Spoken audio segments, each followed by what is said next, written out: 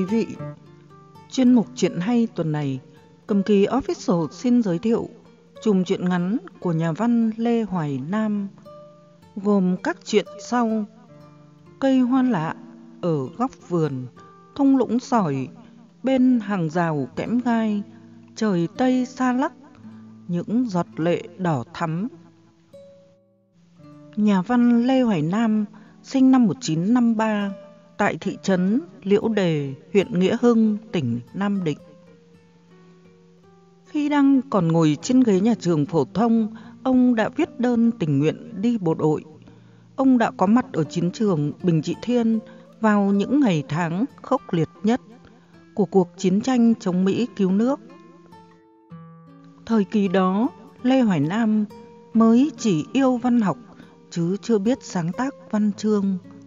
Những gì chứng kiến trong cuộc chiến, nhà văn ghi lại bằng hình thức nhật ký. Phải mấy chục năm sau, khi bút lực văn chương đã vững, ông mới dùng những tư liệu ghi trong cuốn nhật ký ấy để sáng tác hàng loạt truyện ngắn, đăng báo và tạp chí.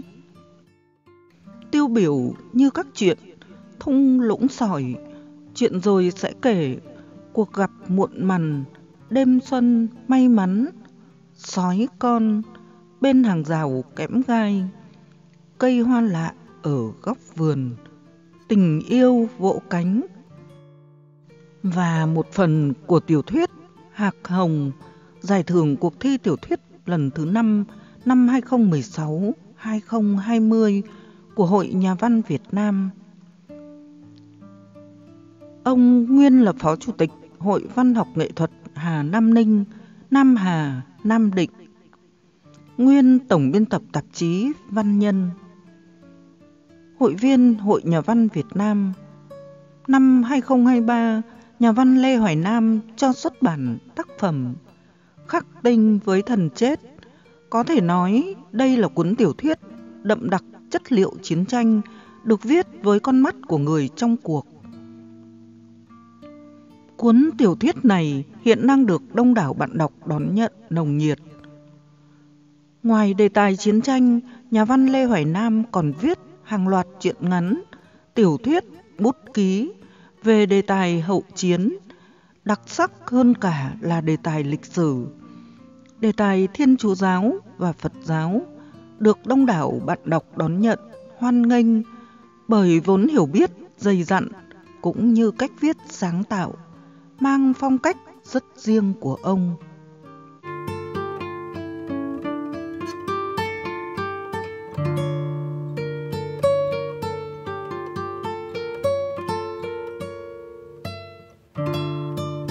Mời quý vị nghe chuyện ngắn Những giọt lệ đỏ thắm của nhà văn Lê Hoài Nam do nhà văn Võ Thị Xuân Hà thể hiện. Năm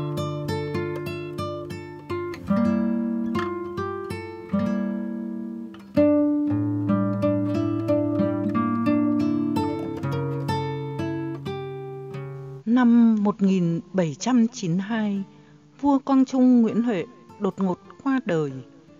Con trai là Nguyễn Quang Toản lên kế vị ngôi vương lấy niên hiệu Cảnh Thịnh. Toản còn đang tuổi vị thành niên, chưa bộc lộ một chút tài năng điều hành triều chính. Nội bộ nhà Tây Sơn bắt đầu suy yếu nhanh chóng. Nguyễn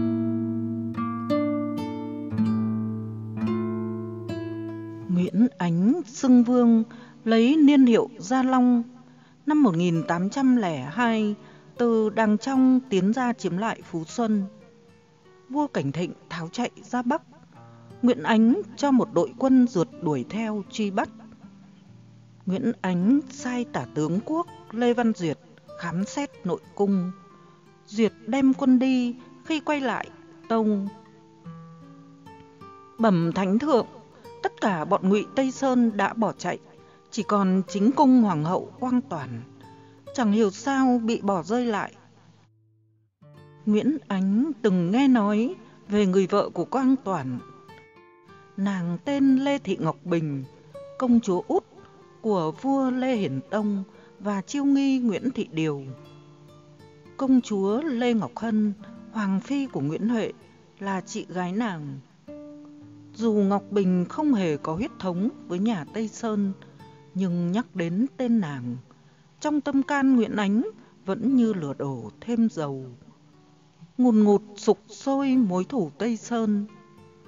Ánh bảo Duyệt, hãy đưa trẫm đến gặp chính cung hoàng hậu của tên giặc cỏ Quang Toàn.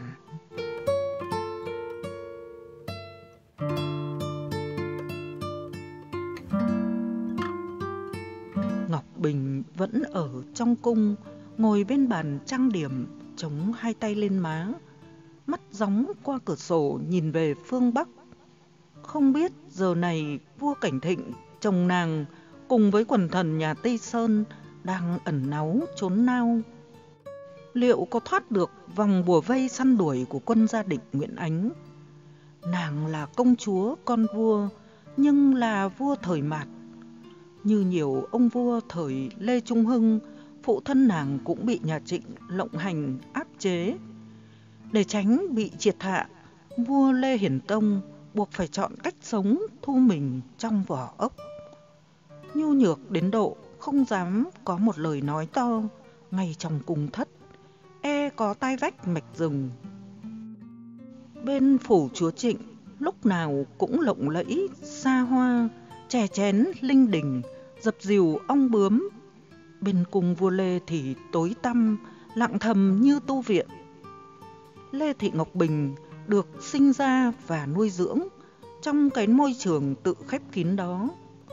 Không đói khát nhưng cũng không có những cao lương mỹ vị.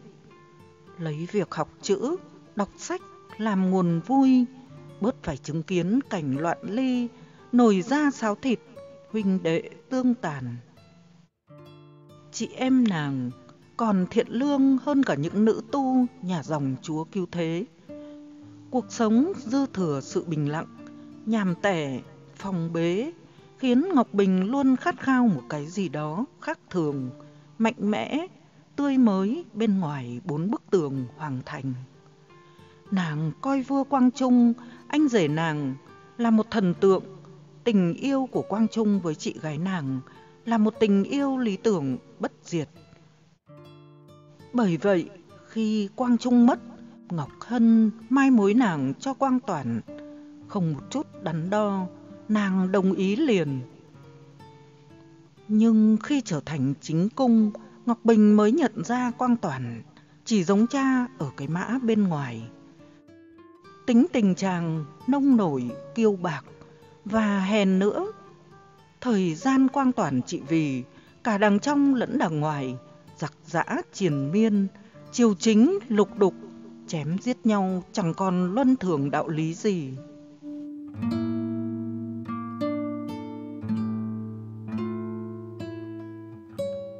Bây giờ, nhà Tây Sơn đang vong trận. Quang Toàn đã bỏ chạy, để lại một mình ta ở đây. Ta biết đi đâu bây giờ. Hoàng thành tráng lệ và thâm nghiêm của các tiên đế ta, ngoài Thăng Long đã hoang phế. Cỏ mọc trùm cả sân điện kính thiên. Từ lâu, nó đã biến thành một cái nhà trọ của anh em nhà Tây Sơn. Ta về đó sao được nữa? Đằng nào thì Quang Toàn cũng bị bắt, bị giết. Hay là ta chết theo chàng, cho chọn đạo phu thê. Ngọc Hân cũng đã từng quyên sinh về nơi chín suối, sau khi vua Quang Trung qua đời.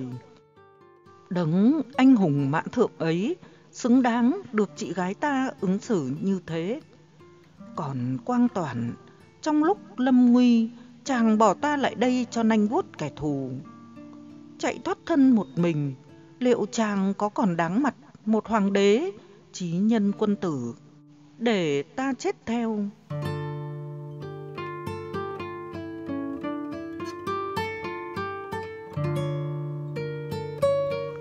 Triển miên với những suy tư ảm đạm, tuyệt vọng, bất chợt Ngọc Bình nghe có tiếng gót giày phía ngoài cửa. Quay lại, nàng nhận ra một người đàn ông đứng tuổi, tướng mạo không to béo nhưng săn chắc lẫm liệt, mặt mày dày dạn gió sương, một thanh gươm đeo trễ bên hông đã tự ý bước qua khung cửa. vào phòng đứng sau lưng nàng. Ngọc Bình linh cảm đây là một kẻ có uy quyền của Tân Triều. Dù mới ở tuổi 19, nàng vẫn không hề tỏ ra khiếp sợ, không để mất thể diện của một chính cung hoàng hậu cựu triều. Nàng hỏi, nhà người là tướng quân gia định phải không? Ngươi muốn gì ở ta? Nguyễn Ánh toan nói một câu gì đó, thật chát chúa, cay độc, thì bỗng cái lưỡi trong miệng ngài líu lại. Ngài nhận ra Ngọc Bình có một vẻ đẹp thướt tha, tao nhã, bạt thiệp. Gương mặt nàng đang ngổn ngang tâm thế, u sầu nhưng vẫn dở dỡ một vẻ đẹp. Trong đám sĩ tốt của Nguyễn Ánh, không ít người quê Thăng Long từng một đôi lần nhìn thấy nàng đi lễ chùa quán thánh, dạo chơi phủ Tây Hồ. Họ kháo nhau về nàng quả là không sai, không định dùng danh từ phu nhân nói với nàng, nhưng hai tiếng ấy vẫn tuôn ra một cách tự nhiên từ miệng Nguyễn Ánh. Phu nhân hãy cứ bình thân, dù thế sự đã thay đổi, nhưng chậm đến đây không phải để sát hại phu nhân. Ta biết, nàng vẫn ngồi nhưng xoay mặt về phía Nguyễn Ánh, nói tiếp. Nơi ta đang ngồi đây, hôm qua là chính cung, hôm nay đã thành nhà ngục đối với ta. Âm u lạnh lẽo quá, mà ta chưa biết phải chạy đi đâu. Càng ngắm, Nguyễn Ánh càng bị cuốn hút vì sắc đẹp của Ngọc Bình. Ngài nghĩ ta sẽ thưởng ngoạn cái vẻ đẹp mê hồn kia. Khi nào chán chê, giết nàng cũng chưa muộn. Xin phu nhân chớ âu sầu, phu nhân cứ ở đây rồi chậm sẽ mang điều tốt lành đến với phu nhân. Nguyễn Ánh nói một cách thành thật, trong sôi sục mưu toan. Tả tướng Lê Văn Duyệt bước vào, quỳ dưới chân Nguyễn Ánh, tâu. Bẩm thánh thượng, quân ta từ đằng ngoài báo về đã bắt được khá nhiều tàn ngụy Tây Sơn. Mời thánh thượng về chiều ban lời chỉ dụ. Nhà ngươi về trước, nói với mọi người đợi chậm. Nguyễn Ánh vừa nói, vừa xu xua tay về phía Lê Văn Duyệt, mắt vẫn đăm đắm nhìn, như muốn ăn tươi nuốt sống Ngọc Bình. Lê Văn Duyệt lui. Ngọc Bình nhìn Nguyễn Ánh một cách ngỡ ngàng. Con người dạ sắt gan vàng suốt 25 năm bôn tàu, ăn bờ ngủ bụi, nuôi ý chí can trường, khôi phục nhà Nguyễn, chính là kẻ này đây ư? Ngài bỏ trễ việc đại sự chỉ vì ta chăng? Hóa ra nhà ngươi chính là Nguyễn Ánh, Tân Triều Gia Long. Sao nhà ngươi không đuổi ta cút khỏi thành Phú Xuân mà lại giữ ta? Phu nhân không phải bận lòng về chuyện đi hay ở. Nguyễn Ánh nói, quá nửa đời người, chậm làm bạn với gươm đao. Tính khí võ biển, nhưng không mù lòa đến độ, không nhận ra phu nhân là một viên ngọc quý, rất cần cho chậm. Chậm đã có nhất cung Tống Thị, nhị cung Trần Thị, phu nhân sẽ là tam cung của trẫm Phu nhân thấy sao? Ngọc Bình quan sát dung mạo Nguyễn Ánh lần nữa, như để đoán định thêm điều gì đó về ngài. Con người này đúng là mang dung mạo và thần thái của một đại quân vương. Ông ta rất mạnh mẽ và quyết đoán. Con người ông ta toát ra thứ mùi vị rất đàn ông. Nhìn ánh mắt và đôi vai của ông ta có thể tin được ta đang bơ vơ trên cõi đời loạn lạc, minh đao. Nếu tiếp tục phải sống, ta không thể không tựa đầu vào vai con người này. Bằng một động tác dứt khoát, Ngọc Bình đứng dậy, bước đến trước mặt Nguyễn Ánh, quỳ xuống, nói Xin đa tạ Tân Vương đã có nhã ý, thiếp đang ở trong một hoàn cảnh thật khó sống, nhưng chưa có gan để chết thiếp cũng như tất cả đàn bà trên thế gian Có một người đàn ông để tựa được vào vai ấy là điều quan trọng nhất. Nếu Tân Vương có lòng thương, thiếp đâu nỡ phụ tình. Chỉ e thiếp không xứng với những điều Tân Vương nghĩ về thiếp mà thôi. Nguyễn Ánh đưa hai tay nâng Ngọc Bình đứng dậy. Nàng hãy về với ta. Nguyễn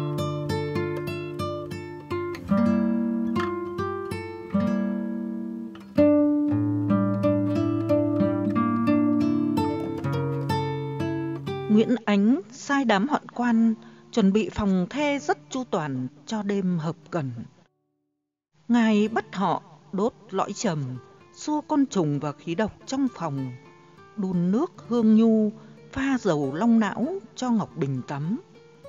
Xiêm y của nàng cũng được thay mới, ngài không muốn còn vương một chút mùi tây sơn trên thân thể nàng. Trong cái giờ khắc, Ngọc Bình sửa soạn dọn mình trong cung cấm. Nguyễn Ánh ngồi phòng ngoài uống rượu sâm Ngọc Linh ngâm với cá ngựa. Đã sắp bước sang tuổi ngũ tuần, lại vừa trải qua một thời kỳ dài vắt kiệt trí lực cho việc mở mang gia đình, chiến đấu tử sinh, lấy lại ngôi báu. Sinh dục của ngài đã có những triệu chứng thất thường, phải dùng loại rượu này kích dục. Ngài uống bằng loại chén mắt trâu to tướng, trắng men màu đen. Mới trở lại ngôi báu, Ngài vẫn chưa kịp gột rửa hết thói quen xô bồ của những năm tháng buôn tẩu, ăn bờ nằm bụi. Ngài uống đến chén thứ hai đã thấy ngọc thể lâng lâng. Ngài tự nói với chính mình, nếu nàng làm ta sung sướng, ta sẽ để nàng sống với ta. Trái lại, nếu nàng làm ta chán ngắt, thì những cốc rượu này sẽ kích thích ta, tăng thêm sức mạnh giết chết nàng. Không phải dùng gươm đao, cũng chẳng cần bóp cổ, ta sẽ giết nàng bằng một cuộc giao phối đầy thú tính.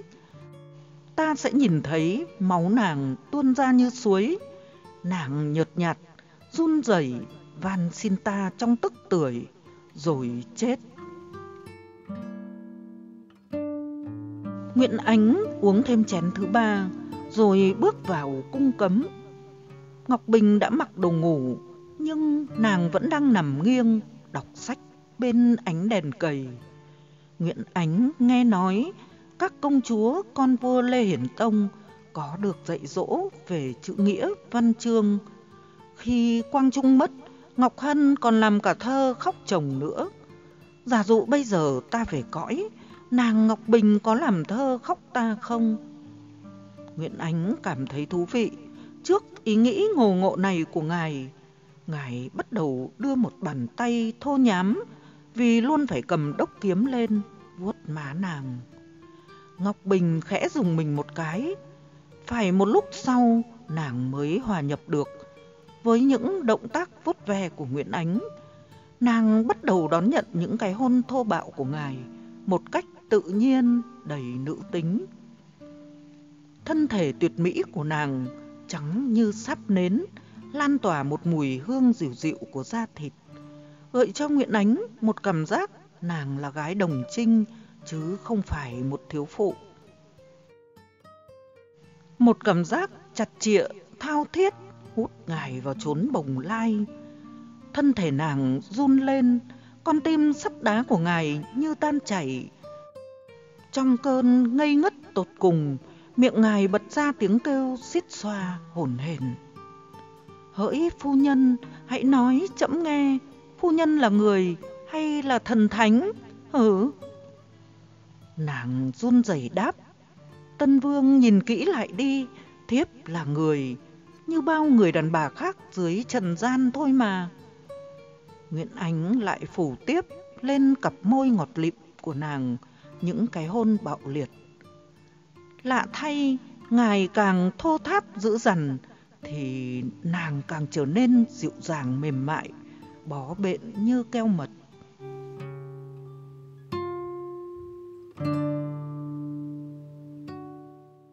Sau cuộc giao hoan kéo dài như vẫn còn chưa thỏa cơn khát, Nguyễn Ánh nằm nghiêng, ôm quạt lấy nàng, miệng nói mê man. Phu nhân ơi, trẫm phải thú nhận với phu nhân điều này. Trẫm có thể giết phu nhân bằng một cuộc giao hoan thật hoang dại, dữ dằn. Bởi trẫm muốn hủy diệt tất cả những gì từng liên quan đến nhà Tây Sơn. Nhưng cho đến giờ khắc này, trẫm biết trẫm không thể làm điều đó. Phu nhân là vật báu của trẫm, là của trẫm mãi mãi. Thiếp đâu có gì khác với những người đàn bà mà Tân Vương đã có.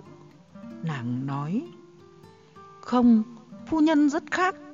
Chẳng qua phu nhân không tự biết những giá trị cao quý của mình hoặc có nhận ra nhưng phu nhân khiêm cung mà nói thế thôi.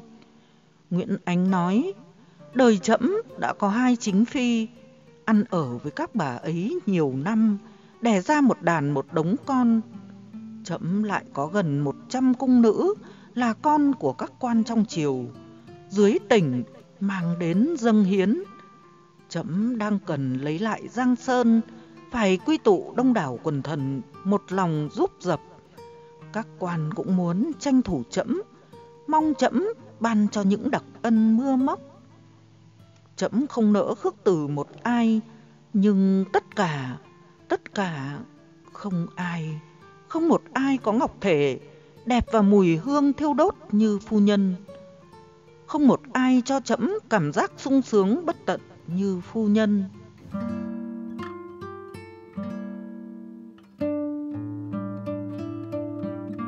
Ngọc Bình đủ nhạy cảm để nhận biết tất cả những lời nồng nàn phát ra từ cái miệng gang thép kia là tình thật. Nhưng nàng không muốn nó tuôn chảy ra hết. Nàng mạnh bạo đưa tay bịt lấy miệng Nguyễn Ánh, nói Thiếp biết Tân Vương nói thật lòng, nhưng thiếp muốn Tân Vương hãy biết kiệm lời, thì đạo nghĩa chồng vợ mới thiêng liêng. Triều đại nào rồi cũng có thịnh có suy, có hòa rồi có biến. Tân Vương đã có thiếp, thiếp đã có Tân Vương. Những gì chúng ta đã cho nhau là hiện hữu, là rất thật. Đó mới là điều đáng quan tâm nhất đối với thiếp.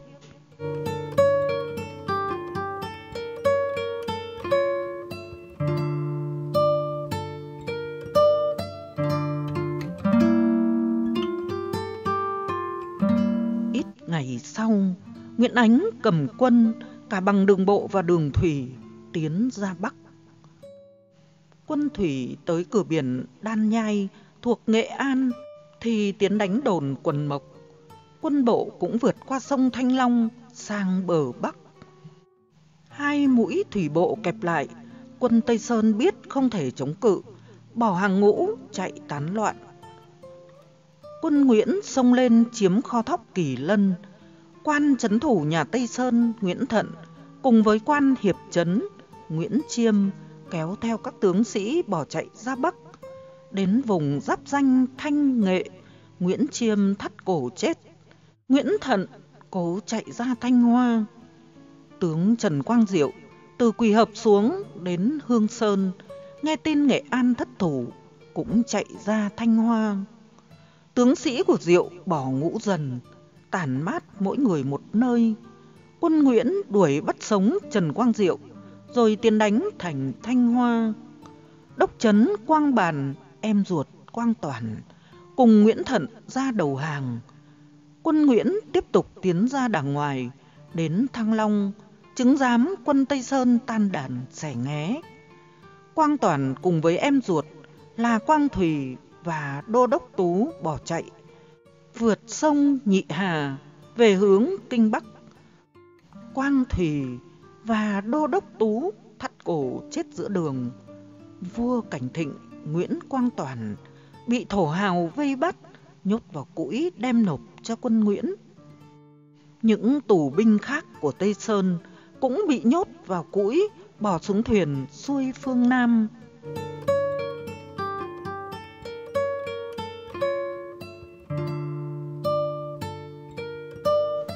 Trở về Phú Xuân, Nguyễn Ánh sửa lễ cáo miếu, dâng tù. Tất cả đám tù nhà Tây Sơn được dẫn đến một sân cỏ lớn trước miếu đường để chịu án hành quyết. Quân Nguyễn xua dân chúng Phú Xuân đến xem rất đông. Hồng vẫn đeo gươm, Nguyễn Ánh đứng giữa quần thần và đám tử tù, nói bằng cái giọng oang oang, chát chúa như súng lệnh.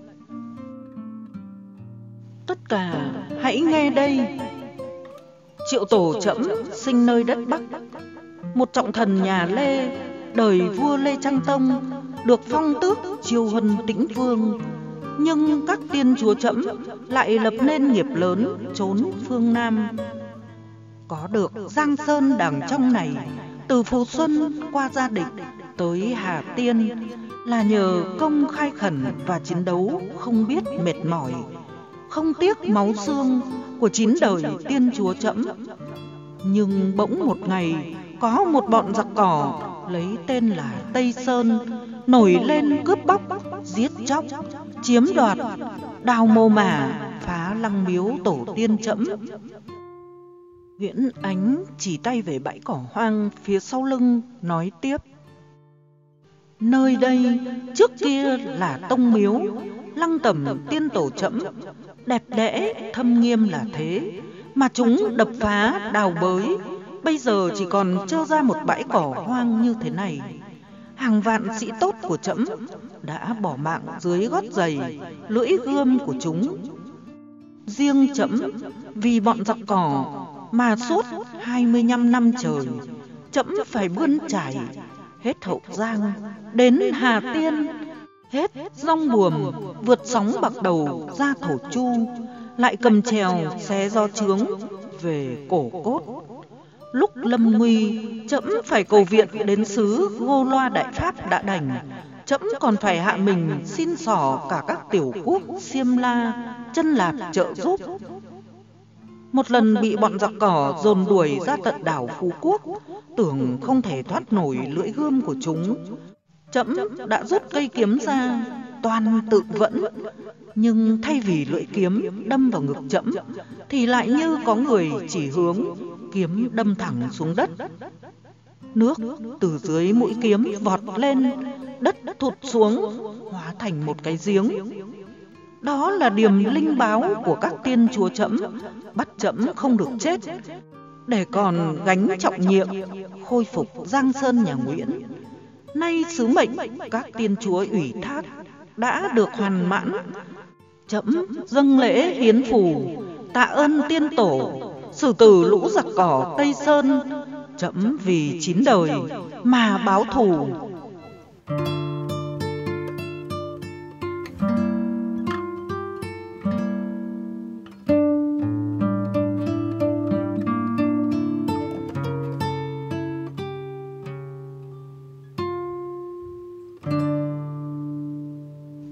Nguyễn Ánh rút kiếm ra khỏi vỏ, dùng lưỡi kiếm khều xé toạc miếng vải đen che mắt vua Cảnh Thịnh. Quang Toàn vừa mở mắt thì đã thấy quân Nguyễn Ánh khiêng ra những cái giỏ lớn, trong đó đựng hài cốt Nguyễn Nhạc, Nguyễn Huệ và những hoàng thân quốc thích nhà Tây Sơn mới được khai quật. Hài cốt đã bị quân Nguyễn dùng cối đá giã nhỏ thành bột, trừ cái đầu lâu Nguyễn Nhạc và đầu lâu Nguyễn Huệ là vẫn còn. Quân Nguyễn bê đầu lâu của hai vua Tây Sơn ra khỏi giỏ, đặt lên một phiến đá. Họ khiêng những cái giỏ đến cho Quang Toản nhìn lần cuối, rồi đám bột hài cốt ấy được đưa ra sông Hương, rắc xuống nhiều khúc cho nước cuốn đi. Quân Nguyễn lấy bát cơm đút cho Quang Toản ăn bữa cuối cùng ngay bên cạnh đầu lâu của cha và bác ngài. Sau đó quân Nguyễn lấy rẻ nhét vào mồm tất cả đám tử tù. Hai chân hai tay quang toàn bị buộc vào bốn dây thừng dài nối với bốn thớt voi. Khi bốn con voi nhận lệnh bước đi thì xác quang toàn bị xé làm bốn mảng.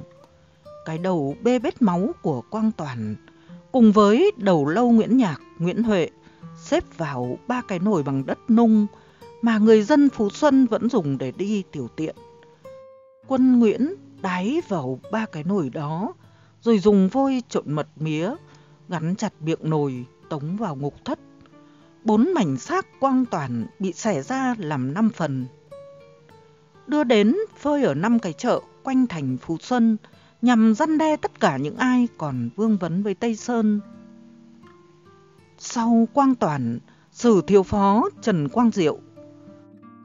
Trước đó đã có lần Trần Quang Diệu tỏ ra khoan thứ với quan quân nhà Nguyễn ở Quy Nhơn. Diệu chỉ bị xử chém đầu tại chỗ nhưng cô con gái 14 tuổi của Diệu lại bị xử rất nặng.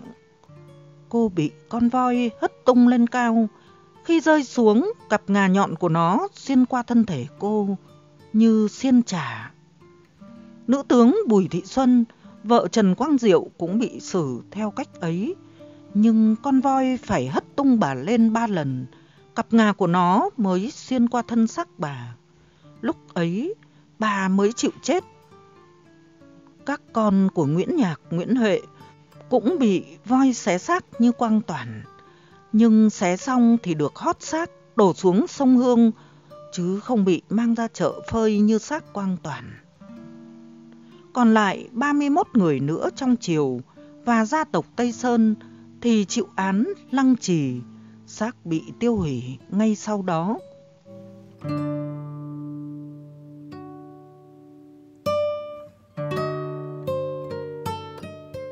Cuộc báo thù này có tất cả vua quan Tân Triều Gia Long có mặt chứng giám, chỉ thiếu Ngọc Bình. Đêm trước ngày đó, Nguyễn Ánh đã báo cho nàng biết về cuộc xử án khủng khiếp này. Ngài còn tiết lộ cho nàng biết tỉ mỉ cách giết từng phạm nhân như thế nào. Khi nghe đến chỗ dùng voi xé xác quang toàn, Ngọc Bình dùng mình một cái, rú lên khe khẽ. Nàng nói, Tân Vương thử nghĩ lại xem, đằng nào thì Tân Vương cũng đã thu cả Giang Sơn Đại Việt. Về tay rồi, có cần thiết phải trả thù người ta thảm khốc đến thế không? Không, ta không thể vì bất cứ lý do gì mà nương tay được. Đó còn là ý các tiên chúa ta nữa. Nguyễn Ánh nói. Tuy sống bên Nguyễn Ánh chưa lâu, nhưng Ngọc Bình đã cảm nhận được bản chất ngài, đã quyết định làm gì, dù có bị rơi đầu ngay tắp lự, ngài cũng không thay đổi. Nàng đành phải nhượng bộ. Tân Vương đã quyết như vậy, để thiếp được thanh thản sống với Tân Vương, xin từ nay Tân Vương đừng bao giờ nhắc đến tên những người Tây Sơn với thiếp nữa, được không? Nếu để giữ tình yêu của phu nhân, Nguyễn Ánh nói, Chấm không nỡ khước từ bất cứ lời đề nghị nào của phu nhân. Vậy thì ngay bây giờ thiếp có lời thỉnh cầu. Sáng mai, Tân Vương hãy miễn trừ cho thiếp không ra sân miếu chứng kiến việc xử án nữa. Thiếp rất sợ nhìn thấy máu người. Nguyễn Ánh chấp thuận. Xong cuộc báo thù, đêm về cung, Nguyễn Ánh thấy Ngọc Bình đang ngồi như chết lặng bên bàn trang điểm. Nước mắt tràn xuống hai bên má. Ngài kìm nén cơn giận dữ, hỏi. Phu nhân vẫn thương tên giặc cỏ ấy phải không? Ngọc Bình rút khăn lau sạch nước mắt, nói. Bẩm Tân Vương, thiếp cũng chỉ là một nữ nhi yếu đuối thôi mà. Cho dù Quang Toàn không được thiếp yêu thương, như thiếp đã yêu thương Tân Vương, nhưng đạo nghĩa phu thê, vào cái ngày ông ấy chấm dứt mạng sống, sao tránh được sự cảm kích nơi tâm can thiếp. Nguyễn Ánh không nói thêm gì, mà đùng đùng bỏ ra ngoài. Đêm ấy ngài không về với Ngọc Bình. Phải mấy đêm sau nữa, ngài mới trở lại. Vừa bước qua cửa, ngài đã ôm chầm lấy Ngọc Bình, nói cái lúc nhìn phu nhân khóc toàn, chậm giận lắm, chậm bỏ đi là vì thế. Nhưng sau đó, bình tâm mà ngẫm nghĩ, chậm lại thấy kính trọng phu nhân.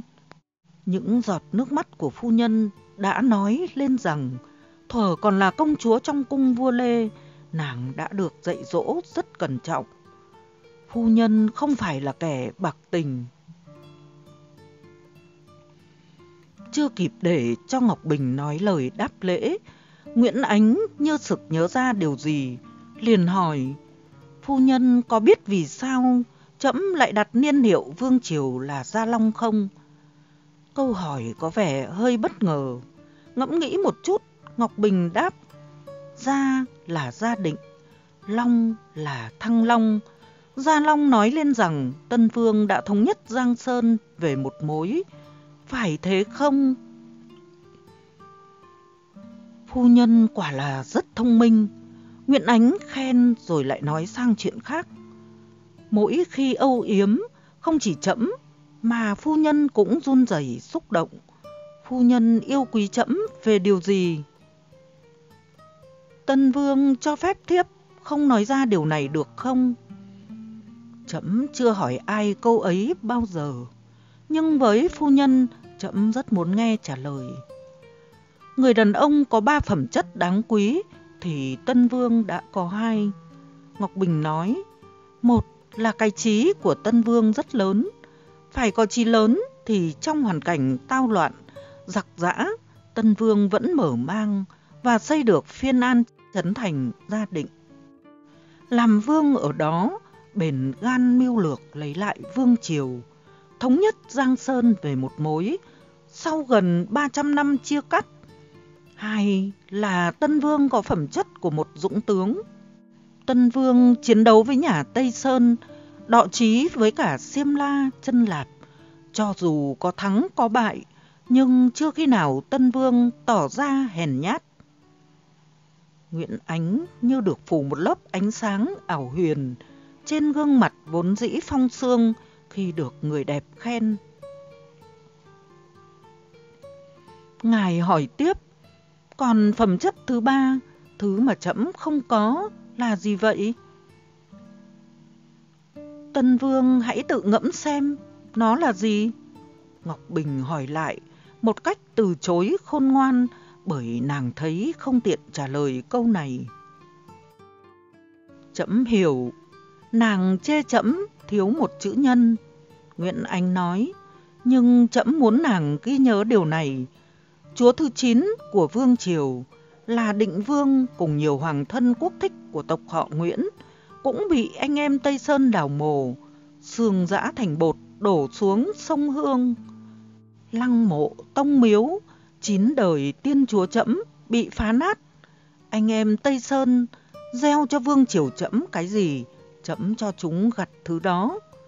Hơn nữa, chẫm trả thù tàn bạo thế, còn là nhằm răn đe những thế lực còn đang mưu toan tranh giành, kéo Giang Sơn trở về cảnh Nam Triều, Bắc Triều, nồi ra sáo thịt. Chẫm chán ghét cảnh binh đao lắm rồi.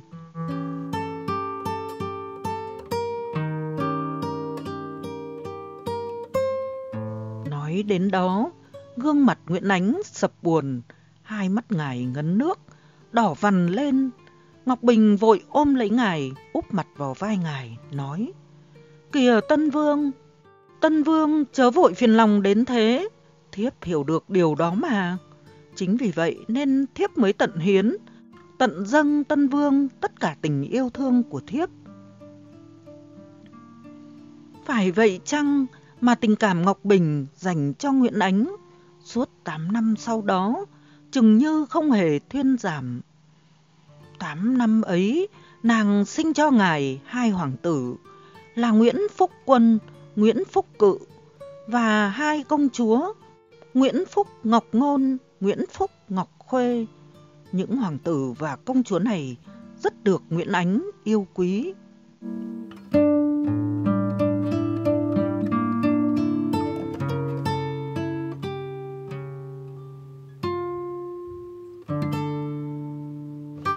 Sau khi sinh đứa con thứ tư, bỗng một đêm Ngọc Bình nằm mơ thấy ba ông vua nhà Tây Sơn hiện về. Nguyễn Nhạc, Quang Trung Nguyễn Huệ và Quang Toàn đều không có thân thể.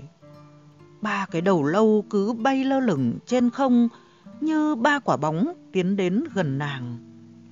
Đầu lâu Nguyễn Nhạc và đầu lâu Quang Trung chỉ nhìn Ngọc Bình mà không nói gì. Cái đầu lâu của Quang Toàn thì nói Ta có lời đa tạ ghi ơn nàng đã can gián việc Nguyễn Ánh trả thù nhà Tây Sơn ta. Dù lời can gián của nàng không được chấp nhận, nay ta về báo cho nàng biết, trong con người Nguyễn Ánh đang tích tụ âm khí rất nặng. Ánh sẽ giết chết nàng bằng thứ âm khí ấy. Tiếc thay, ta không thể làm gì để cứu nàng, bởi ta chỉ còn cái đầu. Thân ta đã bị ánh giã thành bột, làm mồi cho tôm cá sông Hương.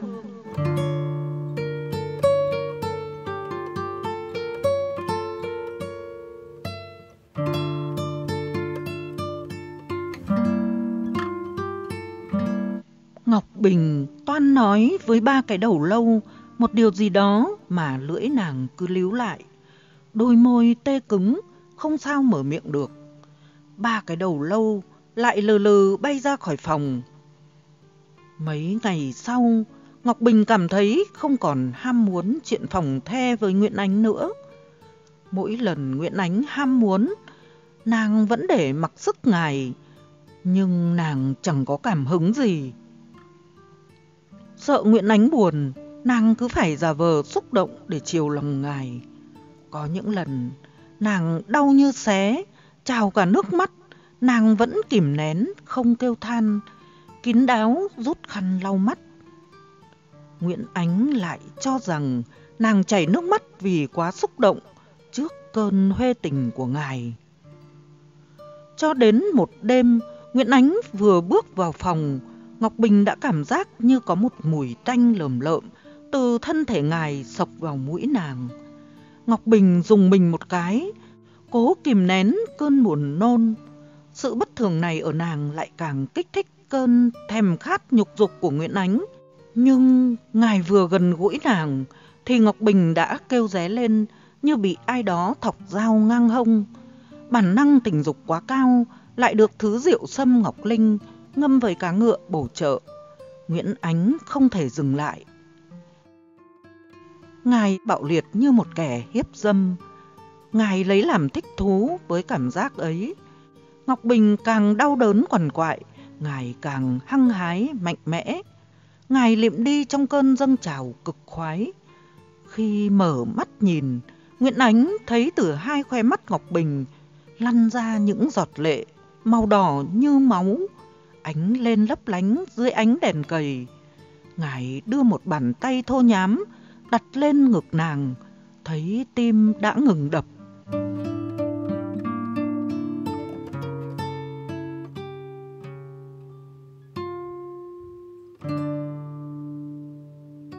Nàng ra đi ở tuổi 27, nếu tính cả 9 tháng 10 ngày, nằm trong thai mẹ, gọi là tuổi mụ, thì đời nàng chấm dứt ở tuổi 28. Thank you.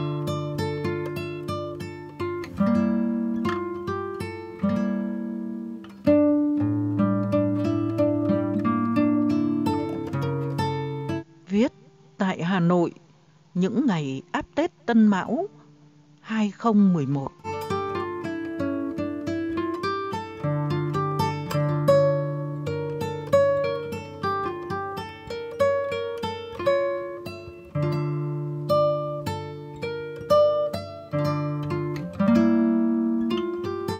Quý vị vừa nghe xong chuyện ngắn Những giọt lệ đỏ thắm của nhà văn Lê Hoài Nam.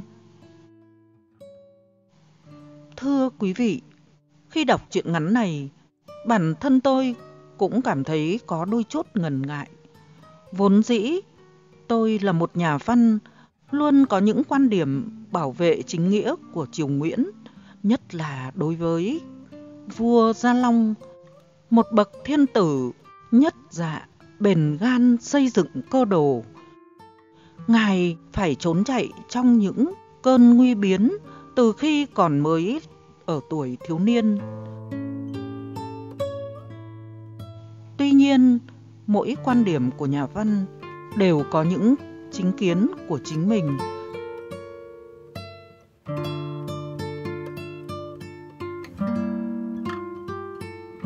Tôn trọng những nhà văn, chúng tôi vẫn trình bày tất cả văn bản truyện một cách trung thực nhất. Cảm ơn quý vị đã lắng nghe.